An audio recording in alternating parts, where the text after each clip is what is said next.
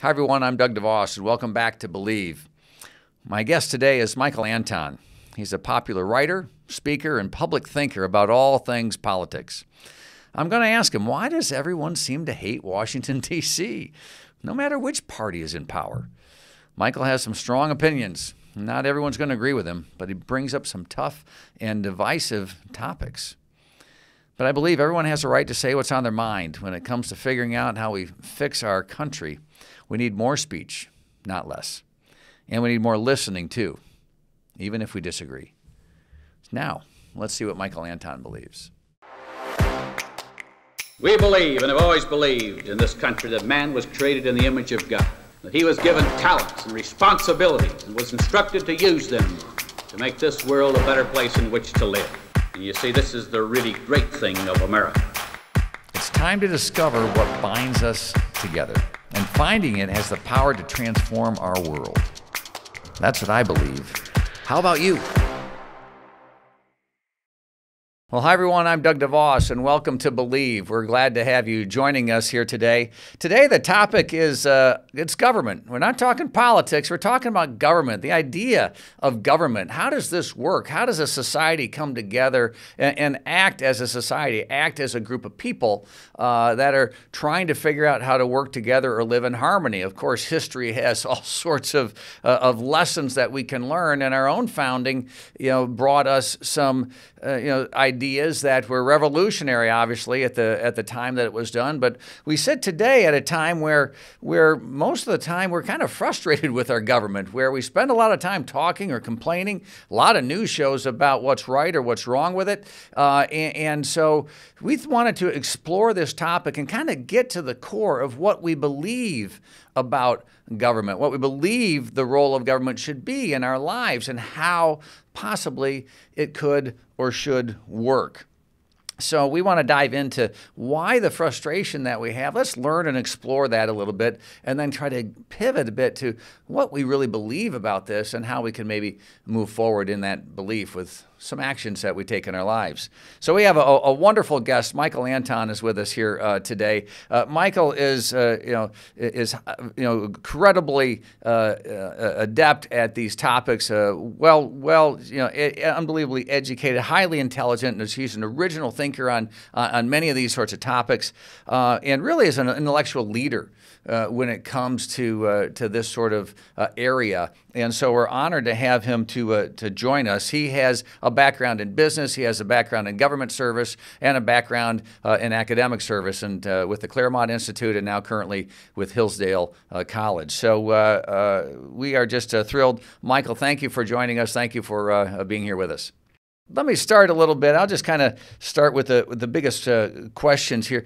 Help us understand some of the frustrations that people have with Washington. What beyond just you know this issue or that issue? What's a little deeper? What what is might be the cause uh, uh of why things just don't seem to be working uh, the way they should? Well, uh, there's a number of causes. I can think of two uh, just off the top of my head. One is it's incompetent, and the other is to the extent that it has power and can effectively use power, it uses it against the people rather than for the people. So I, you know, I don't know what the federal budget is. I don't keep track of this anymore. It's kind of meaningless these numbers, but it's got to be, it's many trillions of dollars, four trillion, five trillion, whatever. So it's spending, uh, um, you know, a massive amount of money, and then you have to ask yourself, what do you, what do you get for it? Well, we don't get, um, you know, we don't get protection uh, from uh, various things that government's supposed to protect you from. Foreign power. I mean, thankfully, we're not being uh, invaded by an armed foreign power. You could argue we're being invaded uh, at the southern border, but at least not by an army, but by a migrant flow that the government either can't control or refuses to control, won't do anything about. Um, we've certainly been uh, vastly taken advantage of by foreign powers in the economic realm, above all China. And the government either won't do anything about that or it colludes with certain financial and business interests to prevent anyone from doing anything about that. Uh, and so you get job losses, factory closures, outsourcing, all these kinds of things. And you either, if you're a normal person witnessing this and you complain about it, you hear one of two answers back, and often the same two answers at the same time. The first is that's not happening. Everything is great. Tr- trade benefits everybody. Stop complaining. And the second is a kind of resigned, well, th- those are just the laws of economics. There's nothing anybody could do about this. The thing I just told you that wasn't happening and that was great, now I'm telling you, you just have to suck it up and accept because nobody can do anything about it. So they hear contradictory answers. And, you know, these are not, these aren't, you don't have to be a sophisticated, educated person to realize that you're being lied to, that these three things that are being said at the same time can't add up to a coherent answer. Um, and then, and then you see things like, you know, when the government really wants to act, so it it it, it allows 200 and this is a number that I've been using. I, I have a source for it, but if anybody wants to quibble about it, I'm happy to go back to my source. Something like 220 cities were set on fire and looted massively in 2020.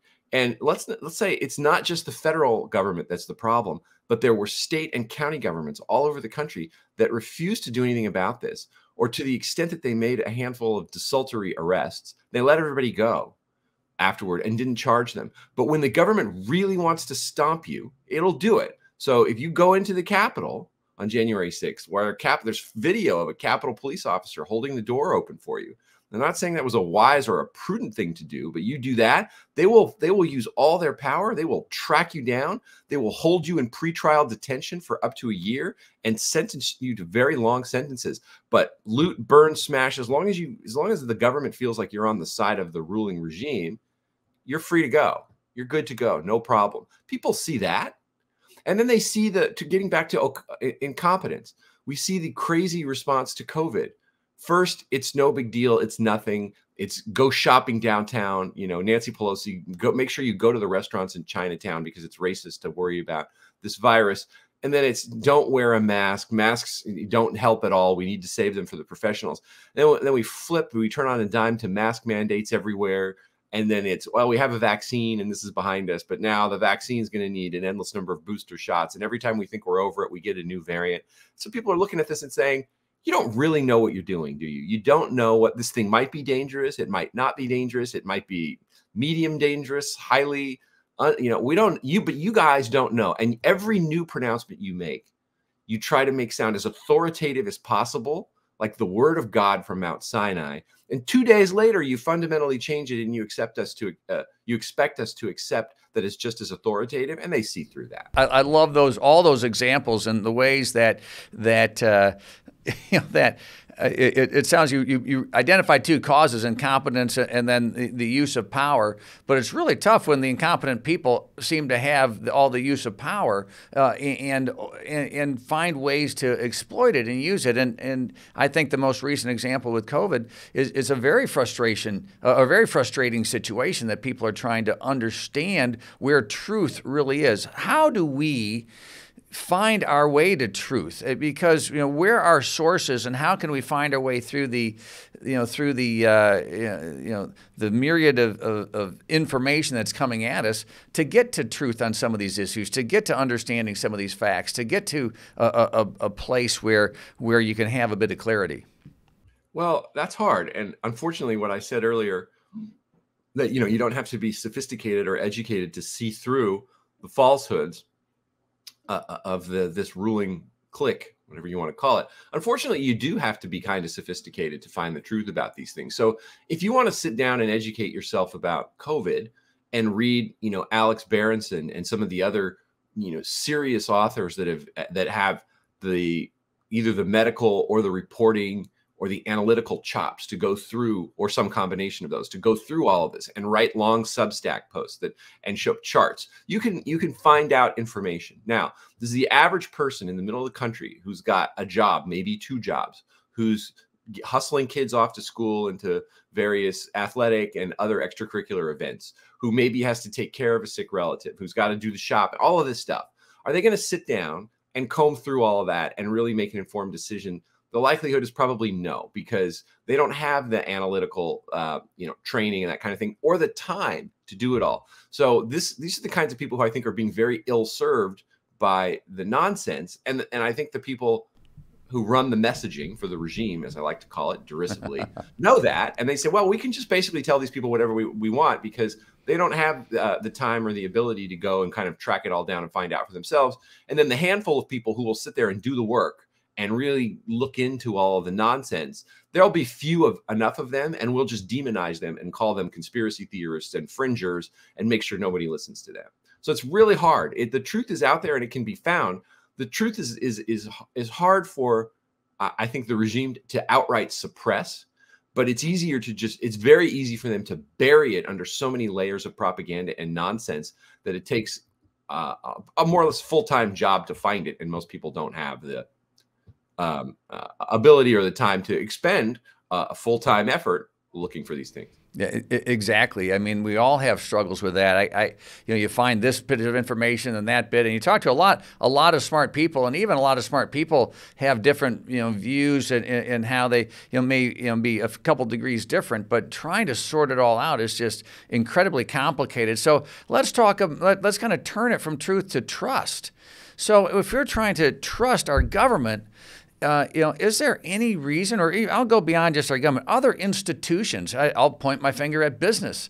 Uh, let's talk about you know education. So these are these these institutions in our society that that we've been able to go to in the past to kind of trust or or, or have a consistent position. But you talked about some of the, the collusion or some of the uh, corporate cronyism uh, that happens, uh, you know, at times. I, am I'm, I'm a business person, um, and, and, you can kind of see it from time to time how how when uh, you know, when you know when when people come together in in a way that's in their interest but not in the public's interest, uh, there can be some serious problems here. So, how do we get to a, a, level of trust then in our institutions and ultimately in our government? Well, I don't know. I mean, we, usually that's a one way street. You have it at the beginning, you establish it, and then you can either cultivate it and, you know, um, work to bolster it, or you can take that trust, exploit it, and spend it down in short term for short term gain. And that's unfortunately what pretty much every institution in the country, governmental and societal, has been doing over the last generation or so, and vastly accelerated over the last 10 years, and then vastly accelerated from that over the last five years. I don't see how they get it back, to be perfectly honest. And to be even more honest, I don't think they deserve to get it back. So uh, it may be better for us to think about kind of wholesale root and branch reform than how do we make CNN, you know, uh, uh, the the old straight news um, down the middle cable outlet that it was born as, or that everybody, you know, everybody became sort of familiar. CNN had been on the air for 10 years, but when Gulf War One started in 1990, 91, that's when the whole world started watching CNN and they pretty much told you what was going on in, in Iraq and Kuwait, right? And right. I think they they lived off the half-life of the credibility they had built up with that for 20 years and they've squandered it all. And not only do I not think they can get it back, they don't deserve to get it back. So I, some of these institutions I just think are not really worth saving necessarily. They've destroyed themselves. They uh, have no shame. They have no remorse. They can't admit that they were wrong about anything. Every once in a while, they get caught red-handed doing something horrible, so they fire Chris Cuomo or whatever. But I don't. I, I, look, it takes a long time to build up trust, and you can squander it in a day. And once you have, uh, I'm not sure that the same institution with all the same people running it. I mean, if if everybody left and the whole place were were cleaned out and a whole new, entirely new crop of people came in and they had a totally different outlook, well, maybe. But I think we both know that's not going to happen. Yeah, not not going to happen. And and to take a, an institution and turn it from somebody who's lost trust, you're right. To to uh, now it's harder. Like I don't care if CNN goes under, but um, you know the Department of Justice and the FBI. I mean, these things are going to be around whether we like them or not. Um, now, my my late colleague who died this year, Angelo Codevilla, uh, argued for wholesale reform and even the abolishment and dismantlement of some uh, government agencies. And if that has to happen, I, I think there, there may be no other way. At a minimum, though, some of these agencies need to do what I said, which is completely clean house, not make one or two changes at the top, not have a fake uh, IG investigation that ends with a vague conclusion that wrongdoing was committed, but that nobody needs to be held accountable you know, if if I, I, mean, I I personally I don't trust the FBI anymore. It has no credibility with me. It lies. It selectively prosecutes. It trumps certain things up. It plays other things down. Right now, the FBI obviously doesn't care what I think about its credibility. It knows it can do to me whatever it wants. It has power. And if it wants to come and get me, it can come and get me, and there's nothing I can do about it. If it cares about what I think and others of me think about it, though, um, this, those are the things it would have to do. And since it's not going to do them, it would require political pressure from above, require congressional legislation to completely change it in executive action. I don't foresee any of those things on the horizon. Right.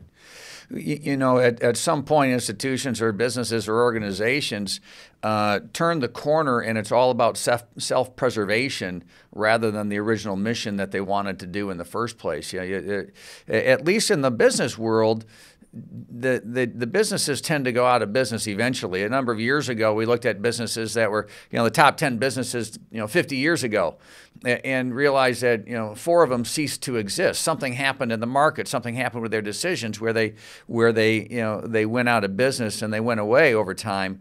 But uh, it doesn't seem to happen with some of these, you know, institutions and government and nor the, the, you know, the political will, certainly the internal discipline uh, to do what's necessary to, to reform, like you're saying. No, it would have to. This is politics. So in politics, you know, the market rewards failure, or certainly the market doesn't punish failure, right? Things change only when they're forced to from the top, which means the constitutional officers that have statutory, sorry, not statutory, constitutionally enumerated powers to force these agencies to change or to take away their budgets or to cut their personnel or to change their mandate by law all of those powers have got to be used to see reform. And i don't see an appetite to use those powers among the, the constitutional officers of the government right now. If anything sadly and frighteningly the constitutional officers are more afraid of the administrative state the permanent government than the administrative state is of them. Now on paper it shouldn't be that way the constitutional officers have got all of these enumerated powers that should allow them to exert their will or the people's will as channeled through them over them over these administrative state bureaucratic non-elected agencies but they don't use it in part i think for two reasons. One is that uh, you know a good portion of the government the elected government let's say half let's maybe it's more than half just believes in their mission and thinks they're the good guys. And so, why would we want to change anything that they're doing?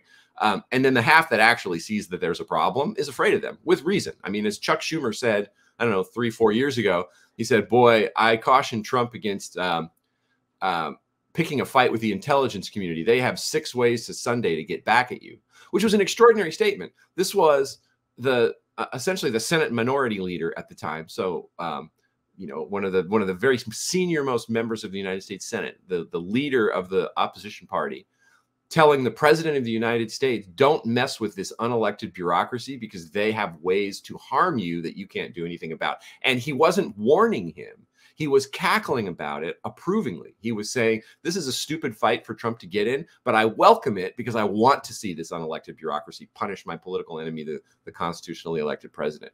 You just know the government isn't functioning the way it's supposed to when people talk like that and pay no price for it. Well, you, you, have hit on a subject I think that's really important for for anyone in our audience to, to really think through. You know, I'm from Grand Rapids, Michigan, the home of uh, you know Gerald R. Ford, the 36th president of the United States, and, and he you know, he his love for Congress. All he ever wanted to do was be the Speaker of the House. He was in the middle of that institution. And I, I, I often think sometimes of how they have just delegated and given away their power to, to the administration and how, how the, the, the you know the absence of aligning with what the Constitution gave them, they just delegated it away. It's like if you're you know, if you're asked to be a leader or if you're a parent or something, you just kind of delegate your responsibility to, to a bunch of other people and then and then think it's great without paying attention to what's really going on. It just it breaks my heart. I, I, I actually spent a little time, as I mentioned, uh, you know, I wrote about this on Constitution Day in an op-ed that that that the ability for unelected parts of our government to take power further and further away from the people where it was intended to be in the first place is, is a hugely dangerous thing. Do you think that that's something that uh, erodes trust and that people can see easily, or is it too well hidden? No, uh, well, hidden. I mean, the average person doesn't contact these agencies or the way they operate in the day to day life, aside from, you know, let's say you're older, you're getting a social security check, but that's sort of the extent of it. You're not where where they notice, if they notice, is that nobody uh, nobody really knows what the law is anymore. The laws become so complicated. There's so many of them, and every new one passed is a 2,000 page monstrosity that you can't possibly understand it. But worse than that, a law isn't a law. So when Congress passes a law, really what they pass is a delegation to the administrative state to write the so-called rules. And the rules are the real laws and they're written in the bureaucracy. So a 2000 page law becomes 10,000 pages pages worth of rules that you know the most sophisticated lawyers in the country can't even understand. They have to specialize because you can only under you know one human mind even if a very very smart uh, extremely well educated only has so much capacity to know so much law and he's got to the law is now so vast that it requires even the best lawyers to specialize into a small part of it.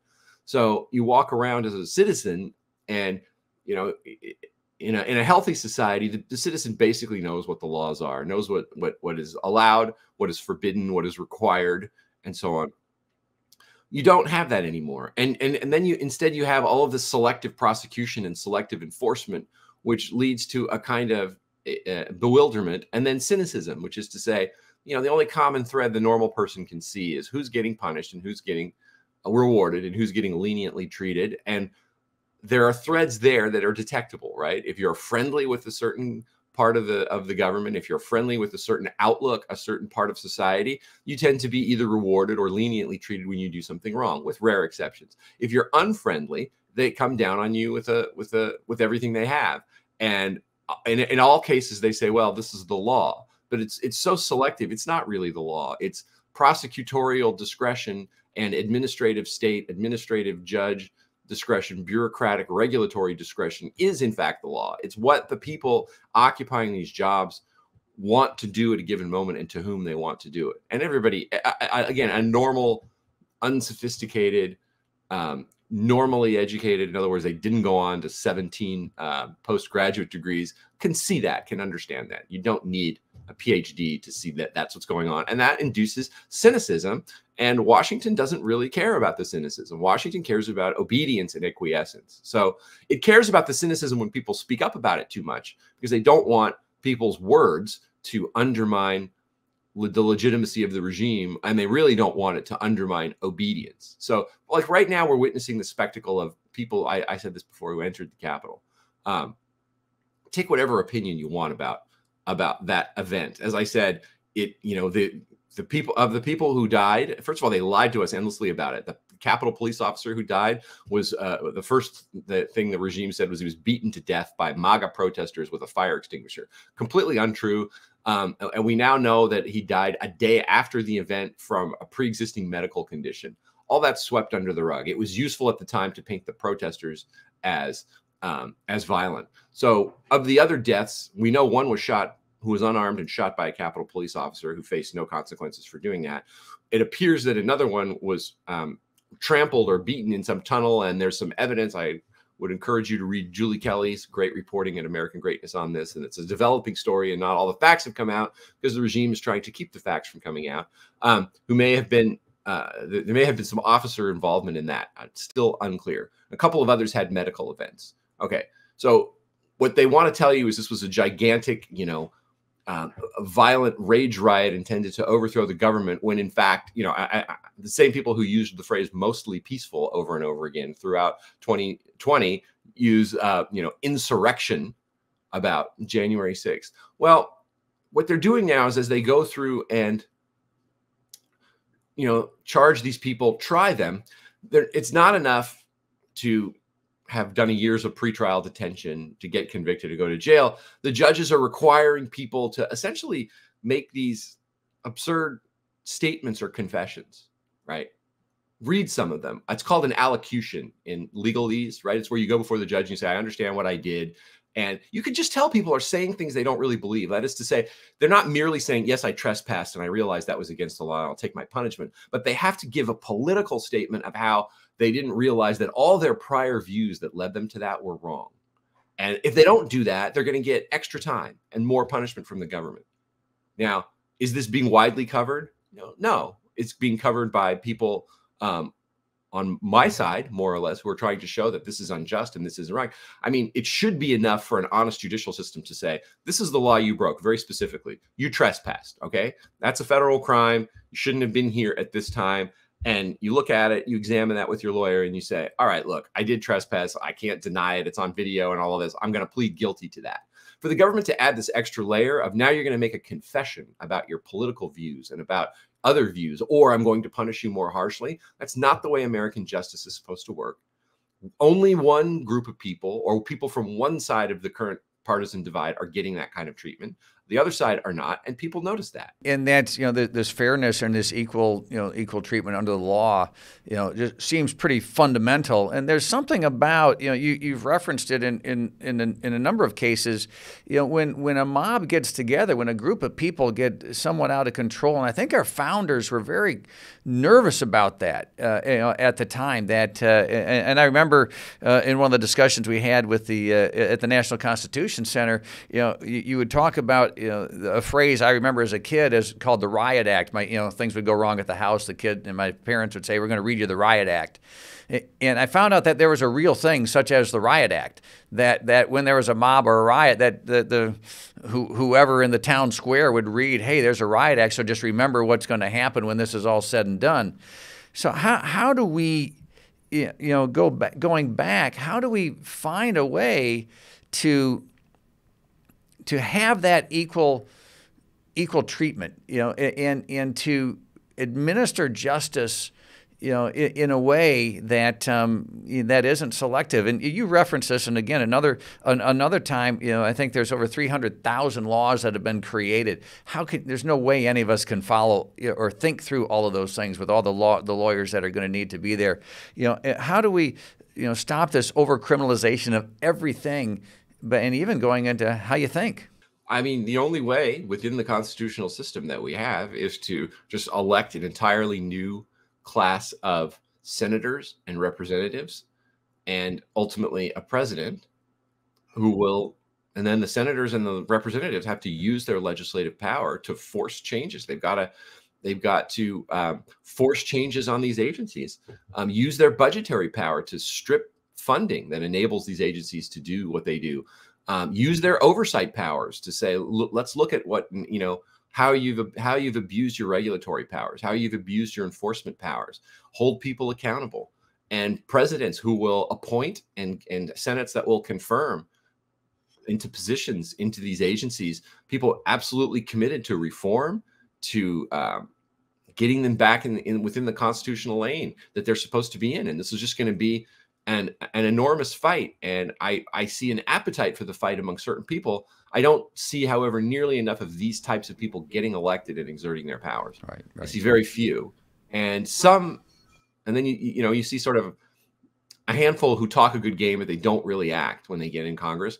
And and then some who talk a good game and want to act but don't know how to how to how to use the powers of, uh, of their offices because um, Washington is complicated, and it actually there is something to be said for experience in town. But the the the downside, the flip side, uh, uh, is that the more experienced you get with how to operate in Washington, the more you tend to be co-opted by Washington and to go along. So you know you you you you have them. You can have a maverick outsider who doesn't know how to move the levers, or you can have a real smooth operating insider who does.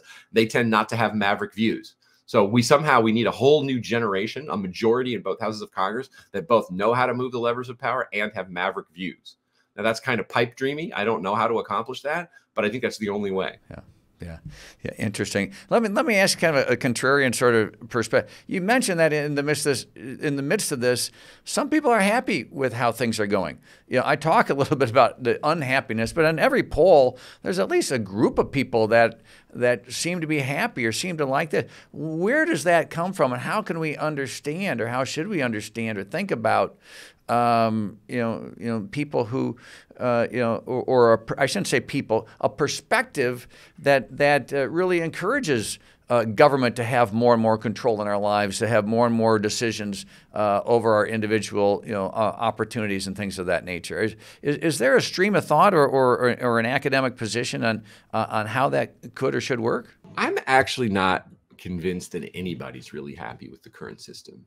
I think you have my read is more that you have two categories now uh, the kind of people we've been talking about who are definitely not happy with it because they don't like the direction. Mm-hmm. There's another category who like the direction but still think it hasn't gone nearly far enough. And they can and I and they think that, you know, as long as any vestige of the old system remains, then we're stuck with you know, structural racism and inequality and you know all the all the things that the American founding and America itself and American history have been criticized for viciously by the left over the last 50 to 100 years. And and and my read of these people uh, is that I don't think they can ever be satisfied. I think fundamentally they're utopians, and they think, you know, they have a they. they I was going to say they have a vision of perfection in their head. I don't even think they have that because you know, no matter what happens, okay, we have to change this. We have to reform that. Have you ever seen one of these left wing utopians go, yeah, that now everything is better? No, they immediately move on to the next crusade, and it's just as urgent, maybe more urgent than the last one and the pitch of their demands just rises and rises and rises. And I don't think they can be satisfied. So this is one of the reasons why I think uh, America is such a, a kind of unhappy place right now politically. Is you have one side that doesn't like the changes and another side who thinks no change can ever be enough. We're just it's permanent revolution. And I, that just doesn't bode well for the future, as far as I'm concerned. Wow, wow, yeah, very interesting uh, per perspective there. And does that that lack of satisfaction come with the fact that there's somebody else out there that has power? Is this a, is this an un, uh, an unchecked um, aspiration to have all the power, all the controls. Only when government or when the leaders of government have all the power will they be satisfied. But you know, as you said, maybe they'll never no, be satisfied. They'll never, but they'll never, they never, they'll never be satisfied. I don't think they can admit that they'd be satisfied. I, I think this is the philosophy student in me coming out it arises from just a fundamental misperception of reality. I mean, one of the things that ancient philosophy tries to get across to people is there's only so much human beings can do in this world. So you have to moderate your hopes and dreams. You've got to be willing to accept less and make compromises because perfection and heaven on earth are impossible. And the striving for them will create more misery and chaos than accepting certain inevitable evils and imperfections and they just won't eh, they can't accept that and reject it root and branch. There's something psychologically there's something in the mind of people like this that makes it impossible. I don't think it's in the mind genetically permanently right? I mean because people haven't always uh, uh, been this way. Maybe some people have always been this way but right now it's the kind of thing if you if you tried to talk you know um one of the uh, a more uh, a very committed left winger on these things out of this view that they can utopianize the world the response to you will be anger you know, I'm always, I'm all for the, the power of the individual and the power of somebody to dream and aspire to do great things and to achieve great things. Uh, you know, but and you've seen some you know amazing accomplishments by by people throughout history and even happening today. Um, but nobody's perfect. You know, my my my mother well, gave. I mean, and we're, but we're, yeah. the difference we're talking about is the difference between what individuals can achieve and what a society can achieve. Even with the former, you're still going to face limits. You know, I mean everybody everybody you know there's i think of how many kids have big dreams of being i don't know uh, a professional athlete or an actor or an actor and very few of them make it so on the one hand you don't want to crush young people's dreams because it's good to dream it's good to aspire it's good to try and on the other and, and because you don't really know this person could be the next great athlete or the next great whatever right right um, but on the other hand you, you also don't want to give the message that um, if you fall short of that you're worthless or you failed right? Because most of us are going to have normal, ordinary lives. Most of us aren't going to be superstars. And the world has to be oriented around the most, around the majority of people who are just going to be normal and live normal lives and have kids and have a home and maybe a little cabin somewhere. And it's it's it's not the, the grand life maybe they were dreaming about when they were 10 or when they were 17, but it's a good life. It's a worthy life. It's a fulfilling life. When you move it out to society, that's where you really have the problem.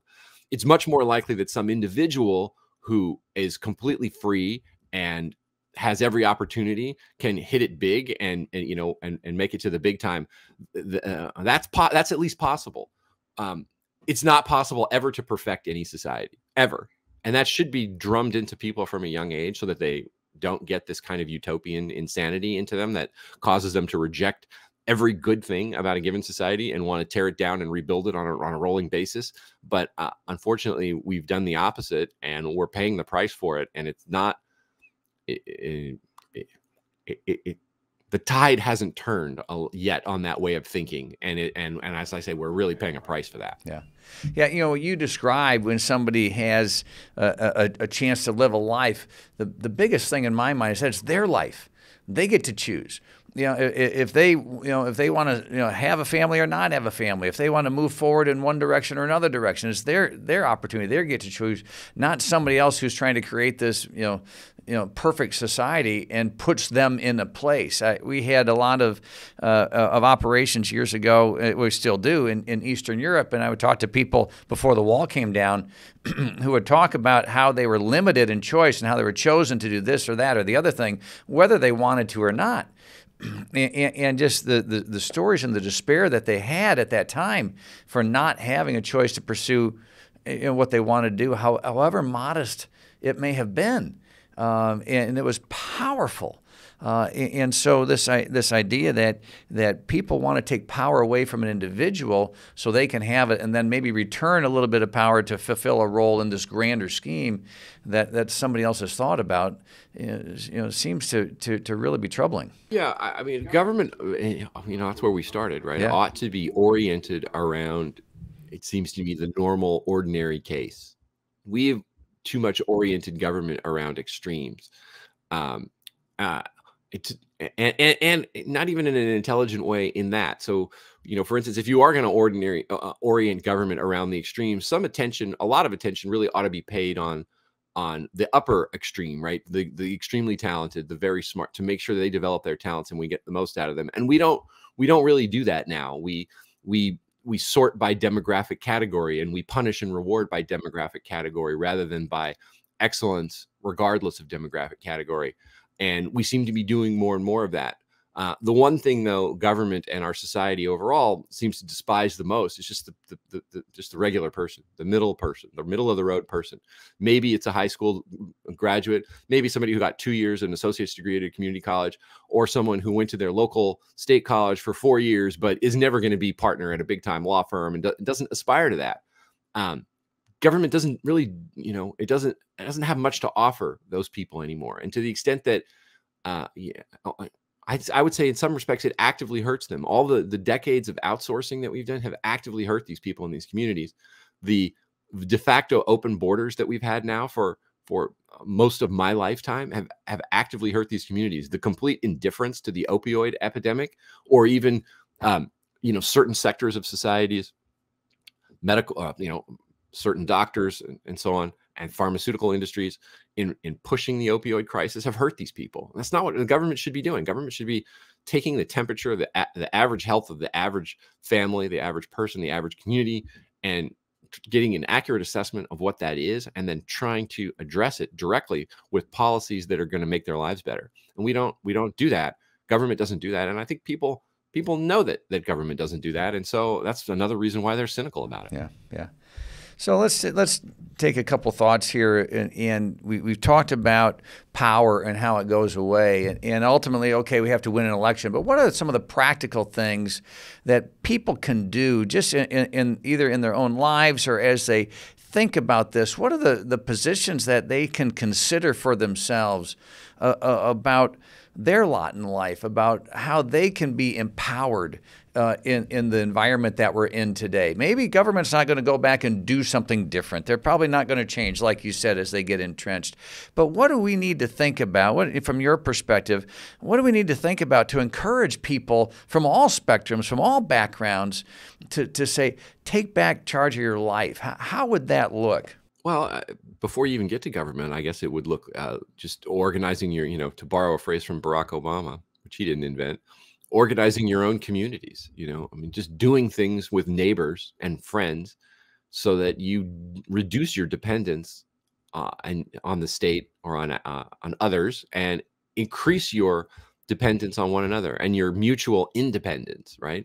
So you know you know start working with local businesses you know instead of being reliant on giant corp you know corporations that don't know you or care about you see if you can you know join a food collective, buy your food from local farmers uh, in, in, in conjunction with other families doing the same thing. There are all kinds of things you can do like that that people are doing. And by the way, when regime outlets notice this, they get angry. So, for instance, the New York Times, not that long ago, a month or two ago, had an article talking about the inherent racism of farmers markets. I mean, of farmers markets. Why is this? Well, I, I, guess it's because the people doing the buying and the growing and the selling, they're in the demographic category that the regime in the New York Times doesn't like. So they go to the only epithet that they know, or the one that is their go-to, which is this, this must be racist. Now, remember, I, I, it wasn't that long ago that lefty outlets like that were praising farmers markets and organic stuff as you know a part of the locavore movement, meaning eat locally. This was good when it was liberals doing it. As soon as anybody not a committed leftist does it, it's racist. Um, now, beyond that, in politics, you know, I would start at the lowest possible level and work your way up. Uh, uh, uh too many on the right only think about DC and, and only think about the presidency. They just want to win that and they think of once we've won that you know we can we can we can do what we want to do. I think we learned from the trump administration. If we should have known it already but we know now that's not true. Um, it's really hard to affect change from within dc even if you have the white house unless you were to get as i said this big big cadre of people with maverick views but knowledge of how to move the levers of government power we don't have that yet so we could build that though and you build it you know you think about this like a like a farm team system.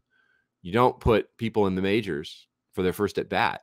Maybe there's an exceptional player every once in a while, but let's start at the, you know, at the little league and then the high school and maybe college and then triple A, sorry, single A, double A, triple A before we go to the majors. So let's start getting people on city councils and town councils and boards of supervisors and state legislatures and commissions and all of these things getting first of all they can do some good in these spots Second of all, they will learn politics. They will learn how the levers of power work. And third, they'll build a network of, of like-minded people who share their goals and let them rise through the ranks and through the offices. And then that cadre that I'm talking about that we need, which we're not going to, we're not going to recruit it for 2022 or 24. There's not enough people out there. But if you spend 10 or 20 years building it by having people who are serious, committed, and have the hearts in the right place, their minds in the right place, you know, go through the drudgery. let's face it, it's a time, it's a sacrifice. It's probably boring. I mean, we've all, I don't know if we all have, but some of us certainly have sat through, you know, local government hearings about garbage pickup or some very mundane issue. And you think, golly, that's boring. And I'm a busy person and I'm, you know, I've achieved this in my life. Therefore, that's beneath me. I don't want to do it. Well, if you don't do it, you know, another thought from ancient philosophy, um, if you don't do it, that means somebody else is going to do it, and they may not be as good as you, and they may not share your views. So maybe you need to suck it up and uh, and exactly. do the unpleasant stuff, lest it be left to someone who's going to do it in a way you don't like. Yeah, interesting uh, uh th uh, thought there, and and that's where kind of connecting. Help us connect a little bit the you know you know we, we talk a lot about politics government that's where we started this you know this conversation but how does it relate back to culture a lot of conversations uh, you know that that I've had with people talked about the the virtues of individuals that people have to be be virtuous to be able to maintain or enhance or or grow of you know freedom in a society that there has to be a, a fundamental base and, and with that as you said is that individual willing to serve in government putting their their perspective into that service that could start to have a chance in government. So help us understand that from a kind of, it gets a little personal. How do we create our own individual culture and, and work in that neighborhood around us? I mean, there's always a balance. There should always be a balance between the needs of the individual and the needs of society. You know, as I, um, you can you could go too far in either direction. So too far, uh, you know, take ancient Sparta would be an example of where complete dedication to the common good at, at, the almost utter obviation of any concern for the individual. Like nobody wants to live in nobody that I know wants to live in. I like reading about ancient Sparta sometimes, yeah. but I don't want to live in ancient Sparta where I have no personal or private life at all and my whole life is dedicated to the state.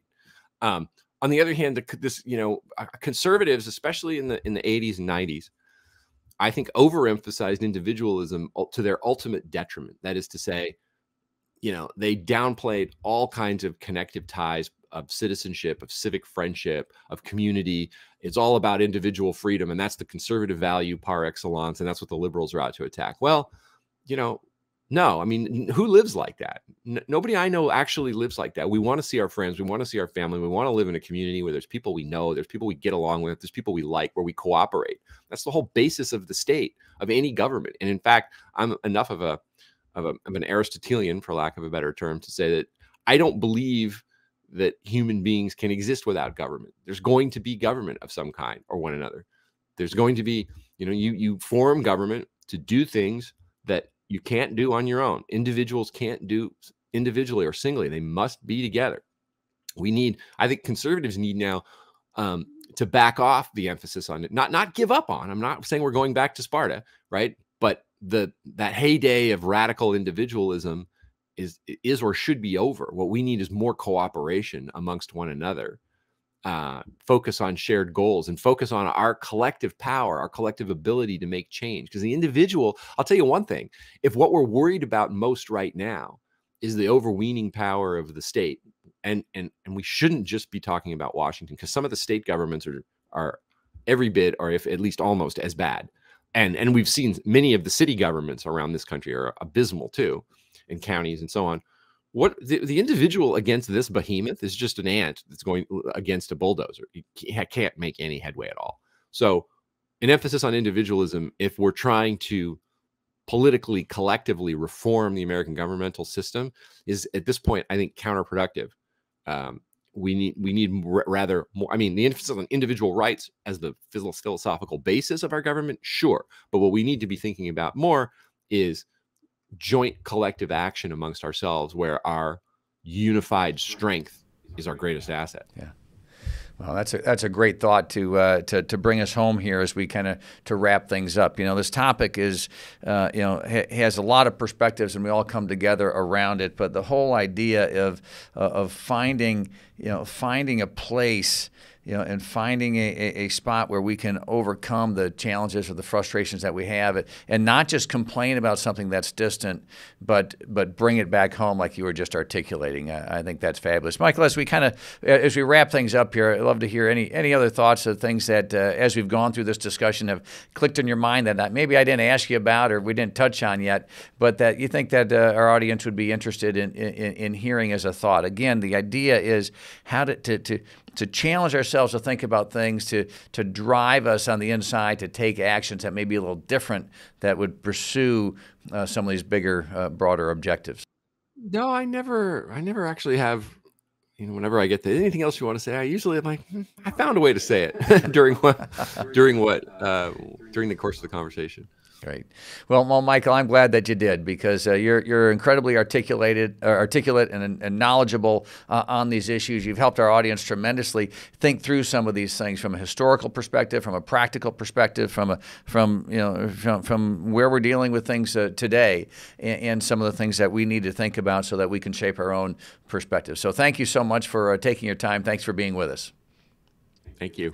And to all of our uh, audience, thank you for being with us as well. Uh, we've had a great time with Michael Anton. Uh, hope this helps you think through where you are, where you're going, and what you can do to be a, a better person, a better neighbor, uh, and to have this perspective uh, in our society where we can uh, go forward together. And that's it for Believe. Thanks, everybody.